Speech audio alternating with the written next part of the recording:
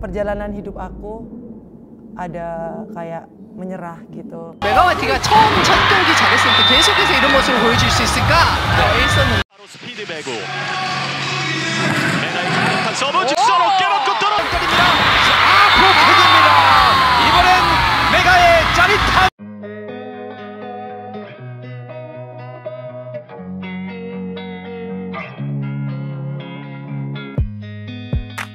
Megawati Hangestri Pertiwi memberi pesan misterius usai Red Sparks gagal ke final Liga Voli Korea 2023-2024. Hal itu disampaikan melalui unggahan story di Instagram pada Rabu kemarin. Ia menyampaikan menunjukkan kiriman kado dari berbagai pihak dan menunjukkannya di akun Instagram pribadi.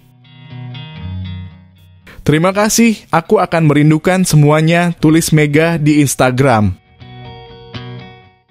Dalam unggahan story berikutnya, atlet 24 tahun itu juga mengucapkan kata-kata perpisahan.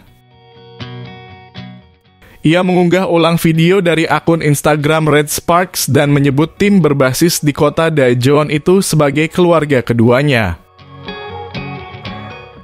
Sampai bertemu lagi keluarga keduaku, aku sangat mencintaimu, ujar Mega. Ucapan itu mengisyaratkan masa depan atlet asal Jember belum benar-benar jelas dengan Red Sparks. Ia terikat kontrak selama satu musim hingga akhir kompetisi Liga Voli Korea 2023-2024. Kini perjalanan Red Sparks musim ini sudah berakhir setelah kalah dari Pink Spiders di babak playoff. Pink Spiders berhak melaju ke partai final karena memenangkan dua dari tiga pertandingan dengan format best of three.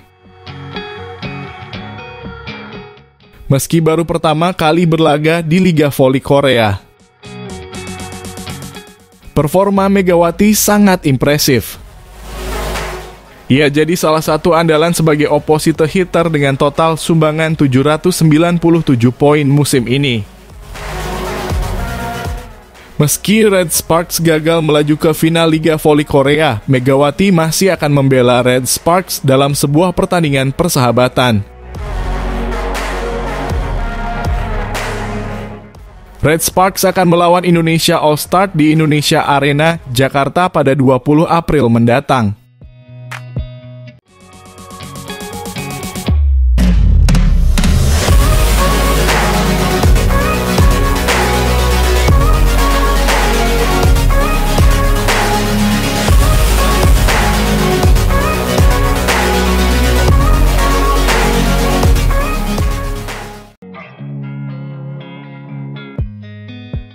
Meski Red Sparks gagal ke final Liga Voli Korea 2023-2024 setelah kalah agregat 1-2 dari Pink Spiders pada babak playoff Selasa kemarin.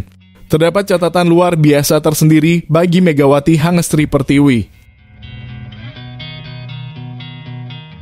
Megawati menyumbang 16 poin pada pertandingan leg ketiga playoff Liga Voli Korea saat Red Sparks kalah 1-3 dari Pink Spiders.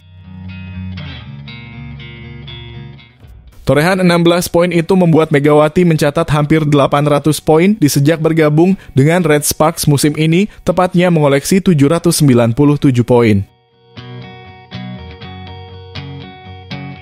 Atlet timnas voli putri Indonesia itu mencetak 736 angka selama babak reguler Liga Voli Korea musim ini.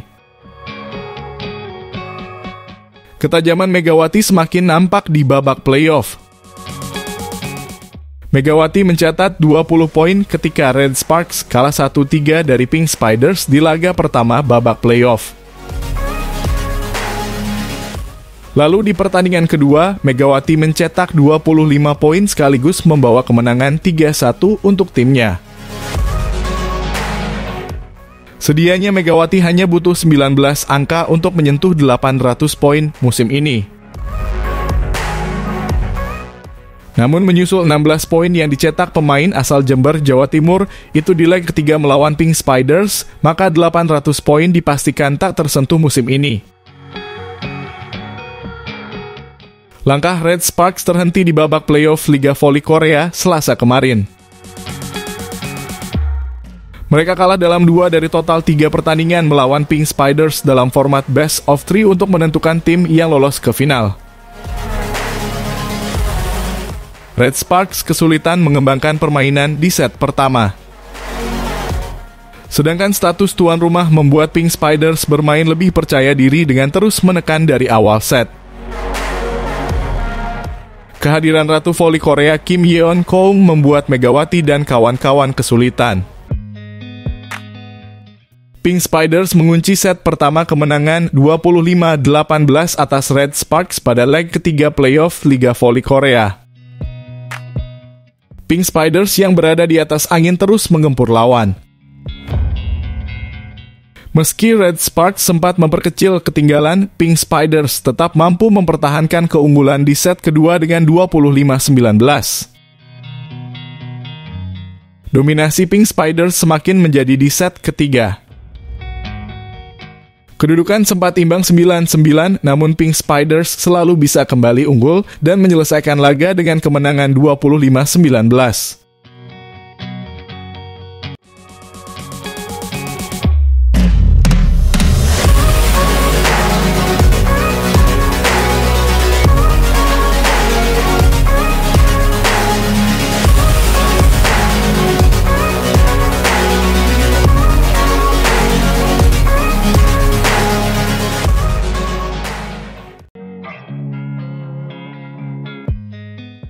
Pelatih Red Sparks Kohejin menyampaikan ucapan selamat kepada Pink Spiders yang melaju ke babak final Liga Bola Voli Korea Selatan setelah mengalahkan timnya 3-0 di pertandingan ketiga playoff. Selasa, 26 Maret 2024. Hasil itu membuat Megawati Hangestri dan rekan-rekannya kalah 1-2 dalam format The Best Three. Performa lawan lebih baik, kami akan memperbaiki kekurangannya dan menciptakan tim yang dapat menantang tempat yang lebih tinggi musim depan, kata Ko Hejin dikutip dari Naver. Pelatih berusia 43 tahun menyampaikan terima kasih kepada para penggemar yang selama ini telah memberikan dukungan kepada timnya. Saya seharusnya melakukannya, tetapi saya tidak bisa. Saya ingin mengucapkan terima kasih kepada para penggemar.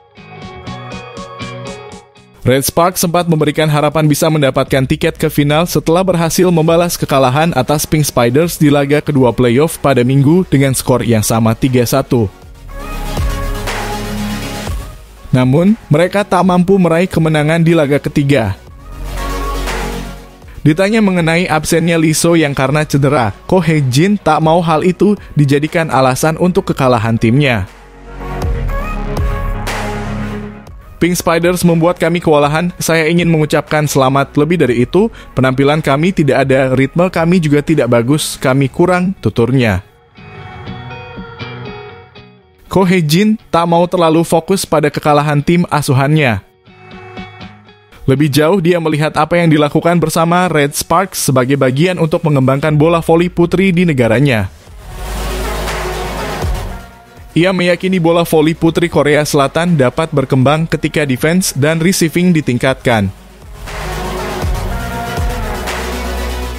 Saya akan melakukan yang terbaik untuk menjadi benih bagi pertumbuhan bola voli putri Korea, ujarnya menambahkan.